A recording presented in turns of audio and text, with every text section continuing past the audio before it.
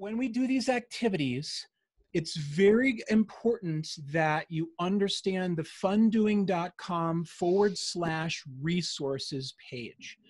All of the things I'm going to show you and more are at this page. You get your handouts, you'll get free resources, all the things you need are here. Then there's, and there's more. I think there's about, there's at least a dozen, maybe, maybe 10 or a dozen activities at this page, including the ones we're gonna do. And you can dive in, get all that stuff there, and then ask me questions. You know how you'll have a, a resource to get a hold of me. Uh, email wise, if you have any questions, please reach out. Um, the focus again is on staying at a safe physical distance while safely connecting, right? So we're connecting with each other. So it, keep in mind, these are physically distance activities. I'm not going to talk about that every single time. Uh, this first one is called Are You More Like? In the resources page, on the resources page, there's a, a handout of 40, there's a download of 40 questions that are in addition to the book that's available at the store. The book has 1001 of these connections and but you can have some free ones also in the Dropbox download at the resources site. There's more. So the idea here is yes, you could just say, hey, are you a letter grade or pass fail? Then what I would do if we're safely distancing, I would just, if they're sitting in chairs, I would just have them stand up if they are if they are more like a letter grade and stay seated if they are more like pass fail. And then the follow up would be okay, look around, see who's like you, see who's not mm-hmm. like you. It's okay to be different. Now we have we're building in differences. We're building in who are we like. Then maybe you could say the next level is more metaphorical. How do you how are you more like a letter grade when they're younger when i use these with elementary kids usually the ones i choose are a little more appropriate for them and then they usually choose the ones they like i like this i don't like that or you could say do you, which one do you like more? Uh, an espresso or frappuccino. I don't know what elementary people would do espressos too much, but you'd find questions that are related to more a grade level um, aptitude or understanding, right? Uh, so metaphorically, let's do another one. Are you more like a single movie or a three-part series? So what do you like more could be the first question how are you like a single movie or a three part series? Now we're getting a little deeper, getting to know people a little bit more. So, in a classroom setting, you're giving some people an, uh, an opportunity to, to raise their hand and speak up and say how they think they're like more of a single movie or a three part series. They have to think a little bit more. This creates a little more creative thinking process. So that first part is, are you more like? You could leave it at that. Mm-hmm. Then um, look around. Who's like you? Who's not like you? Difference is okay. Then anybody want to share how they think they're more like, how they believe they're more like uh, wind power or solar? And it, have them be creative and, and then start feeling safe speaking up. So this is a basic are you more like? Some this is not uh, would you rather? Those are kind of crazy. Mm-hmm. And this mm-hmm. is not never have I ever. Okay, so these are whole different contexts. These are meant to explore metaphorical thinking and get to a little more personal level of engagement. Right? Great for writing prompts. Are you more like this or that? Let's write it out and then we're going to hang these on the wall. That's another way. Uh, if you're not at desks, you could physically, everybody being mindful of safe distancing, uh, letter grade goes to one side and a pass fail goes to the other. So now they're congregating uh, in an area if you following safe distancing. Cool. All right. Uh, what we'll do from here is if you have questions about this, the activities I'm going to do, throw them in the chat mm-hmm. and then Bryn's going to keep an eye out on the chat and if there if there are ones that we need to address before moving on or go we, we could go back and look. Let's do a couple and then go back. Hey any questions? Let's address and then we'll do the next one. All right? So if you have any questions about this one uh, could put them in the chat. Okay? Let's go to this activity two Bryn. all right. Oh monitor the chat advance the slides no you're the, the tech. you're the tech person. All right here we go Lateral I'm thinking ready. puzzles. This is a two-part slide, Bryn, so get ready. Uh, ready. These are, I think a lot of you have probably seen these before. Some people could even call them riddles. It could be riddles, minute mysteries. Uh, there's other names for these, but the idea with this, this is how I use them. And these are great for social distancing. We could be outside and kind of spread out. We could be in our desk spread out. But the idea around this for me is about thinking about, I'm going to say the word good questions. We want to encourage people to ask questions. They are going to ask me questions that I can answer with a yes or no. And sometimes I throw in it doesn't matter. Uh, it just that's not relevant to uh, to the, your data. So we're going to collect data. Now here's the here's the ask that I give them. Here's one of the directions if you know the answer, if you believe you know the answer, I'm going to ask you not to blurt it out.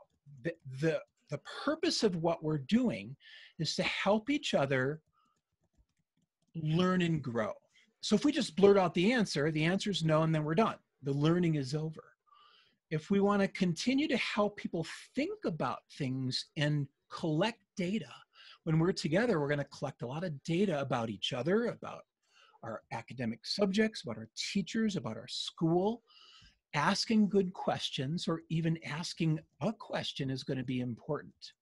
So let's say you think you know the answer, right? Now, without blurting it out, now we're in an online setting, so we're going to share in the chat. Um, but mm. without blurting it out, think of a question that could be answered with a yes or no that might lead somebody to figure out the answer for themselves. Okay, it's a little tricky sometimes. Elementary kids, I usually do simple riddles.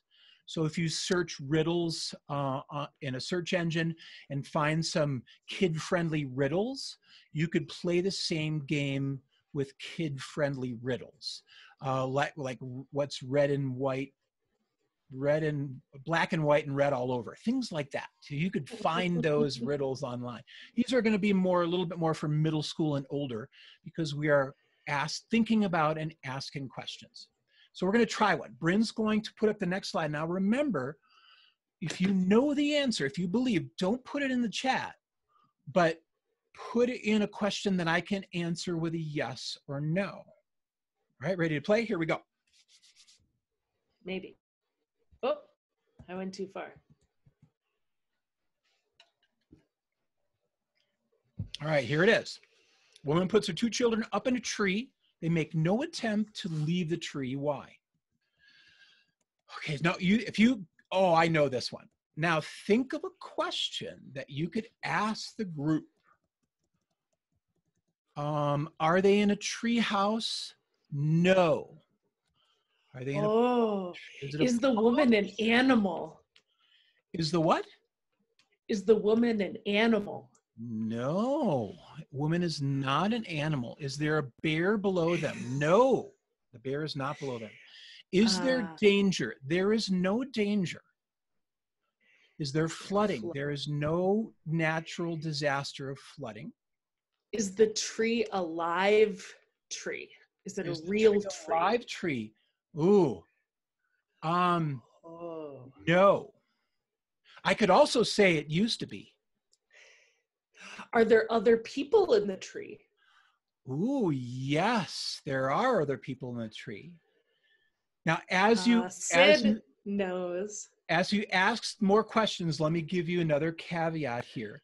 What I usually do, and I forgot to tell you this, I say we're going to explore answers when I say, okay, I think we've got enough data to try and answer, who would like to risk giving an answer? It might be wrong, mm. but it's okay to risk and try.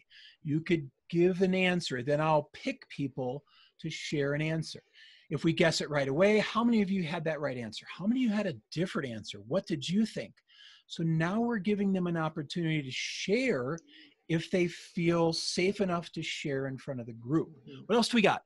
Are there are these pictures of re- are these pictures of real people? Yeah. Uh, is we- the tree drawn on paper? Is the tree on a document? yes. All those are getting a little bit closer Yes. than uh, are they rock climbers? Are they rock climbers? Ooh, no, they're not rock climbers. They could be. Do they live in the tree? Is their house in the tree? Is there food in the tree? Oh, can the woman fly? No. Are they waiting on the fire brigade? Yes. Could be a mythical answer, right? Those mythical movies. All right, since we kind of get the idea, remember we are encouraging people to ask questions. Let's take a little pause quick before I ask for answers. It's also important for you as an educator to create that safe space for asking questions. Even if in your mind you say to yourself as an educator, oh my God, do I have to answer that again? Or if is that a question that's unnecessary? We can't do that, right? We encourage, oh, nice, good question. Does anybody know the answer to that? I think we might have answered something like that before. Let the students answer. Oh, no, that's not a good one. Mhm. And you also have to monitor. This is our responsibility as teachers, educators, facilitators. Monitor how we engage with each other. If we say, oh, stupid, we already answered that question, this is an opportunity for us to talk about how we address one another and how we use our intonation. So now we're opening up the door to create an environment that even though, yes, I think what you just did is a stupid thing, that's my opinion. It may not be other people's opinion. So, how could we change the way you just said that to encourage people to always ask questions? They might have been thinking about a, a, a problem they're having or a struggle they're having. They missed that mm-hmm. person asking that question, they missed the answer. We all get distracted if we have a little empathy for those people that they mm-hmm. didn't hear or remember, then we can create that safe environment where people have an opportunity and feel willing to ask questions. Okay, Mhm. so it's remember, it's not one of those let's do it and let's let this stuff go by. When we're building connections, right? The idea is to help them navigate the skills and abilities to build connections in a positive way. This is our opportunity. So, so much of these activities really aren't about the activity, right? It's it's a medium for which to deliver social emotional learning. And in an activity like this, uh, modeling is so important. And what the students are watching is how you address them and how you guide them to address each other. And so um, I love it. and and this this is an example of what i also call a, a doorway the when you go to the resources page and you find these lateral puzzles that i've collected i believe most of them i can't remember if these are the starred ones now or if these are a good collection these will also lead to an additional conversation we could now after we do this lateral thinking puzzle we could talk about people's family tree what about having an exercise? Create a little family tree of as many people as you know. Who knows how to make a family tree? What does a family tree look like? Does it have to look like a tree? Does it does a tree that we see out in nature the same as a family tree? You know, how do we explain those things? So now it gives us another opportunity to go even further and find out about people's families and connect even deeper. Again, it can be just a fun play and then move on and this Mhm. also can be more of a deeper connection exercise okay so far so good. How let's go back to are were Yeah. there any questions bryn that you noted about the last two activities? Um, most of the questions were just uh, really like playing the game not not so much about the facilitation technique or theory. Cool. So before we move on i think people are going to want an answer. If they didn't catch the answer people the the answer is the the woman was putting her children into a family tree in a document of sorts in a book or on some paper okay if you if you mm-hmm. missed out on that answer again we they might have left the room they might have had mm-hmm. the audio we don't know but the answer is it's a family mm-hmm. tree nice okay we're going to move on next one this is one of my my recent favorites uh, mm-hmm. this one i'm going to share my screen Brenna's already giving me the opportunity to share yeah. my screen. She's good. That's what a tech person does. Uh, as far as I know, you can only see the page that says, What's the quote? Is that correct? Yes, that's correct. Everything else behind it is black. Yes. Correct. Yeah, this is the, uh, something I learned uh, that you can just share a document and not your screen. That way you don't see anything else. Uh, mm-hmm. Again, this is in the resources page. This will give you the link to all the things that you can download and use. In uh, and what they are is, ooh, I have to hover over. They are icons. I have in the when you when you go to the source for the download for these icons, you'll get to where I got these icons. I think it's called the Noun Project. The Noun Project I think it was like 1999 a year for license to all these icons. If you were in my word circle puzzle, virtual word circle puzzle workshop, we did some of these icon circle puzzles in the workshop.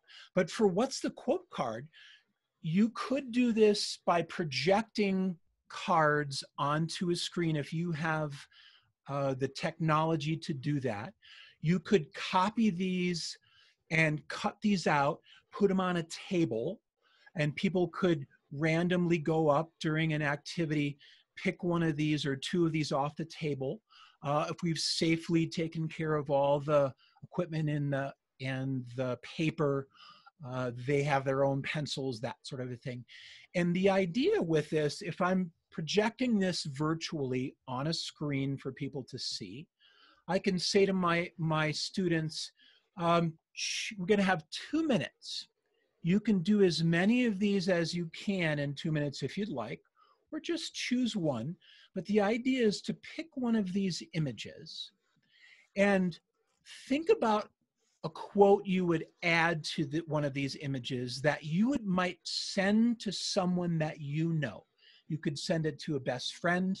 You could send it to a relative. You could send it to anybody in your community that you might want to give them an uplifting uh, message or let them know that you're thinking about them. So think about someone else as you look at these pictures and then write a quote to the picture and then who would you send it to? Now, could you physically send these? I don't know yet. I don't handing things off to people, not so much. Could, if you had access, if your students had access to a phone, could they take a picture of their uh, image card and their quote um, and send it to someone? Could they text someone the message? There could be ways that you could get these messages out to people if you do it safely in your context. But let's play. Let's do um, one of these images for yourself.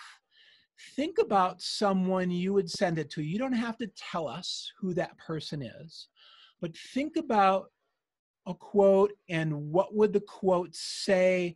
Write in the chat, I have a quote for number three. Here's my quote. And then just in your mind, who would you send it to? And again, you can copy these off. There's a PDF download. There's full instructions in the res- at the resources page. So I want to open up my chat and make sure I get to see um, who's playing. And again, you don't have to play. You can just think. Ah. Quote number one, whatever the challenge we have your back. wonderful. Oh. I think it's so important for kids, especially right now, to feel seen and heard. Um, you know, so much that's going on in the world. I feel like youth are sort of the collateral damage and uh, they don't have as loud of a voice. So that's so important. And what, what I like about what I find when you go to the blog post for this, you can scroll down and see some of the amazing examples that I've collected and mm-hmm. took pictures of. If you have some of those examples, send them to me. I'll put them up there so we can have this scrolling kind of archive. But to me, what I found most powerful is if we're thinking about someone else. Mm. It's, it seems easier for people to write a quote if we're thinking about sending it to somebody else or we're thinking mm. about taking care of someone else. That's what I've found to be the mm-hmm. most powerful use of this. Could you give everyone a set of their quote of these quote cards, quote images, and they could kind of journal. They could maybe keep a, a record and, and cut things out. And at, I don't know what, you know, how could we be creative and give each other these messages? Could there be around our room, could there be uh, hmm. names, our names around the room, and then we tape, we put some tape on the back of these and we put them under their name. I don't know. Would that work? Could everybody get the same amount? Could the teacher add some? You know, is how's it going to look if somebody gets more than others? Do we talk about that? How do we see other people need some encouragement? This is that book together where where he talks about we also have to look around. We may not be doing anything mean to someone, but we may not be helping either. Is there a way mm. to help a little bit? To give a smile in the hallway, to at least say hello to someone, to go to invite somebody to come and sit with them if they're by themselves. This is a way we create those connections. Cool. Let's do. Uh, here's a, here's another one. Let's do real quick. Maybe there's some inspiration there in your download, there's no numbers on these. So um, I think I'll, I'll, go, I'll make sure I go put this one uh, at the, at the um, blog site so that you get this mm-hmm. one too. Because if you do want to project these, mm-hmm. you'll have those. Because I think I just have the downloadable cut and handout kind of uh, PDF is available, but I'll put those on later. Uh, be a good listener. Would love to know your thoughts. Oh, I like that one. Uh, think outside the box. I forgot my face mask. I like that one. Very cool. See, now doesn't that open up a conversation about face masks? You know, we people have opinions about face masks. And where do they get them from? Where do they get their beliefs from? How do they come to these decisions? All of this these quotes can lead to now deeper conversations. Everything mm-hmm. we've done so far can be done very superficially. Let's have a little fun. Let's make this a fun thing and then move on. You don't always have to process everything. Mm-hmm. and you can take them further if you have time again all three so far we can do these over and over again. We can come up with new mm-hmm. things. Could you have have your students draw some icons and contribute them to the class uh, and then have a little contest about uh, write a quote to as many of the uh, the students who drew icons. What do they mean to you and how are you connected to them? So a lot of different ways you can do this. Cool you are safe I love that one. Safe environment to grow. Very cool. Yeah. All right, my um, friends, we ready? Uh, is there are there any questions about before we move on? Throw yeah. any questions in here real quick about what's the quote cards. Mm-hmm. Again, in the resources page, there's a whole. I wrote a whole blog post about it and information on how you get these icons. I'll mm-hmm. add this quote page with the numbers mm-hmm. on if you want to use them mm-hmm. to project digitally. That'll be up sometime today.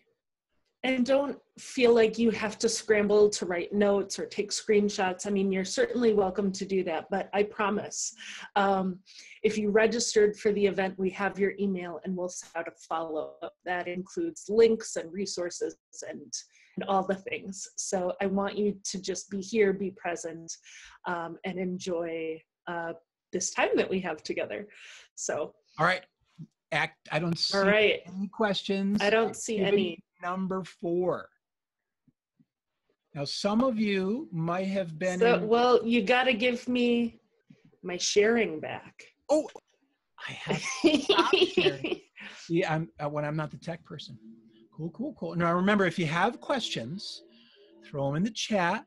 We're going to do a Q&A at the end, and we'll try to keep an eye on questions and come back to them. Yeah. Then you're gonna have to give me sharing back. I think that was the transition. Remember, we forgot about that. I was gonna. Say. Oh yeah, we were we were playing with that a little bit.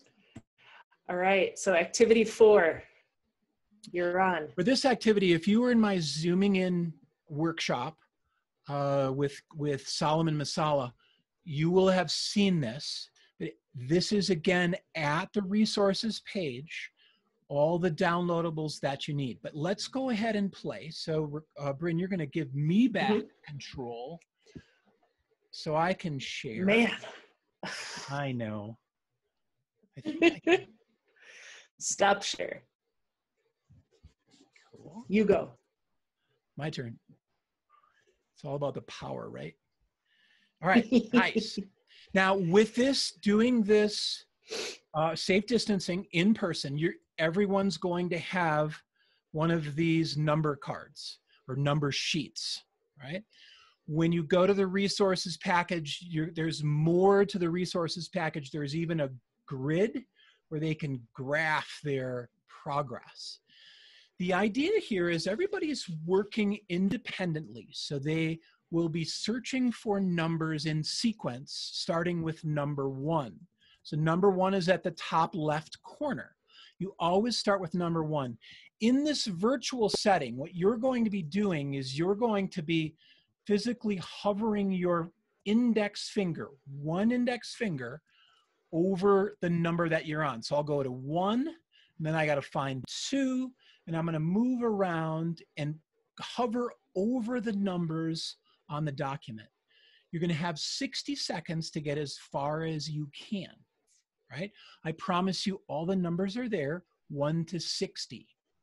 If you happen to be really good at this or you've practiced before because you've done this and you get to 60 and the minute is not over, just go back to 1 and continue with uh, 1 through as many as you can get to and add those numbers to your 60 at the end.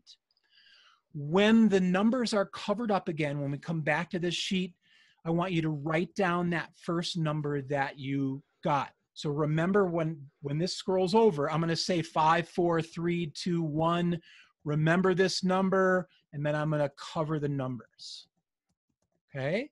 So you have 60 seconds to get as far as you can, starting with number one, only using one index finger. That's all you get. All right? I'm gonna set my timer. And we're going to talk a little bit about how I use this in an educational setting. But usually, this first time, I just kind of throw it out there.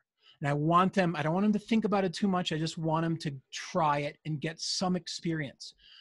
If we do goal setting right away, we might not know or have any experience to do accurate goal setting. So let's just get an experience going. All right. On your mark, here we go. Get set go.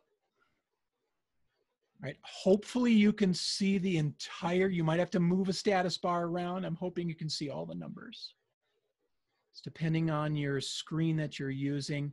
And I know talking is probably driving some of you absolutely nuts, but that could be a distraction and could be done on purpose, so I'll stop.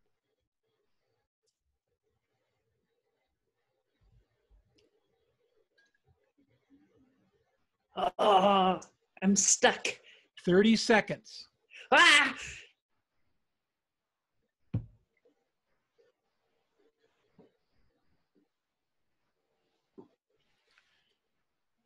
20 seconds.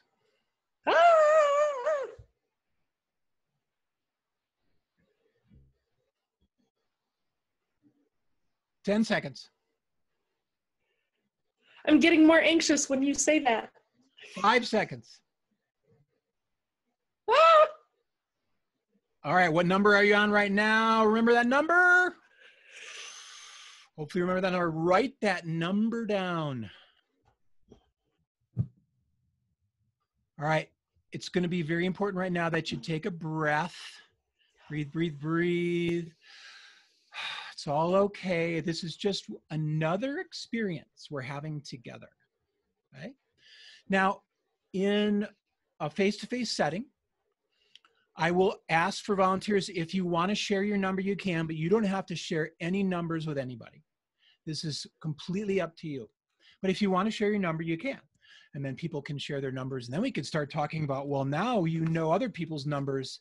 What did that just do to you? What did you start thinking? Did you start thinking you're better? Did you start thinking you're worse? And mm-hmm. why am I so bad at this? And why is my number so low? If you have a high number, you don't know if it's high yet, but so now we start getting self talk that comes into this activity. And one of the biggest things I worked on with at risk youth in this activity was talking about how we talk in our heads. Self talk. What are we saying? Are we sabotaging our efforts? Are we quitting too early? Are we saying everybody's better than me? Are we saying, well, I'm better than everybody else? How do we manage that to be able to be successful? Then I might ask real quick, hey, does anybody have any strategies that they want to share with the group? And if you have a strategy, those of you who've played this before, you know how this plays out. So don't share just yet the super secret strategy. But if Mm-hmm. you've never played and you've discovered something, a strategy you might want to share with someone else, you could write it in the in the chat. If you want to find out some strategies that people are using, go read the chat. If you don't want to find out, then if you're face to face, you could plug your ears. You know, if you want to do it on your own, you have that autonomy. You don't need any help from anybody else. Then we talk about that, talk about helping. Mm, Okay. Now you have your first number. mhm. We're gonna have anybody want anybody? There's a little bit of advice in the chat. Cool, cool, cool. All right. We're gonna go to round two. Now I usually tell Mm. people we're gonna play this seven times or 10 times or 15 times. My record is 15 times, and there was a purpose behind this. But uh, the I think the graph has seven times. Seven's pretty good to get the Mm. idea of the lesson, right? But we're going to go into round two. Same activity. You start with number one, and you go as far as you can for 60 seconds. Okay. Nice deep breath. Remember, breathing is good for the brain, helps us to think and focus. On your mark, get set, go. All right.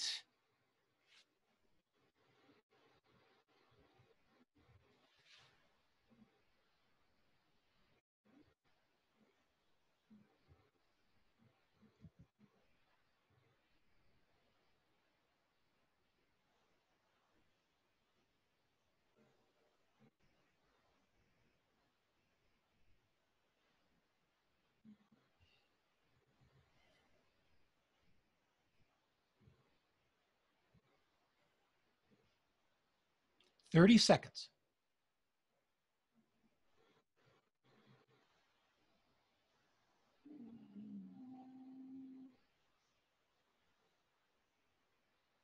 Twenty seconds. Oh no. I promise all the numbers are there. There it is. 10 seconds. Ah. Five seconds. Stop. Remember that number? Okay. And from here, we just keep asking the questions. Okay, so how did you do? There are three relationships to goals. You can meet your goal, can exceed mm-hmm. your goal, can fall short of your goal. What do you say to yourself when you when you encounter any of those three aspects of reaching goals? Did you set your goal too high? Do you want to set your, do you set your goal too low and your expectations Mhm. change? If you get a high number, why did you get a high number? Did you take someone else's advice? Did you find a strategy? Do you have a strategy that you want to share with anybody? Anybody want to hear a strategy? Uh, anybody using something that's very helpful? We only have one index finger. What if we got to use two? Would that be helpful? So now we Mm. talk about how we get better. Oftentimes in this activity, numbers go down because of stress. And now we have to figure out how to counter stress. Self talk, there's breathing, there's all these kinds of relaxation techniques we can help them out with. The idea is to see how we do with practice, right? If we get help from someone. Now, after round four, if this strategy has not shown up, I will pipe in and say, as a teacher, as a team builder, I may end up pointing you in a direction. You can use the advice if you want. You can stay with your own strategy. But if you, when you encounter your numbers next time, know that the odd numbers are on the left and the even numbers are on the right. So now we have a way. Huh. I might give you some information that might help you. It might not. For some people, I've seen it doesn't it doesn't help them. They had their own strategy and they cannot get out of their strategy. So Mm. that advice didn't work. So it doesn't work for everybody. But then oftentimes I see an exponential change when they have some of that information. So there's Mhm. more about th- this activity in the write up. If you have any more questions, uh, ask me in the post that you're going to get to. There are two, I think there are two videos of a session that I did on this activity, and we talk about this a lot. So you can do more videos with this.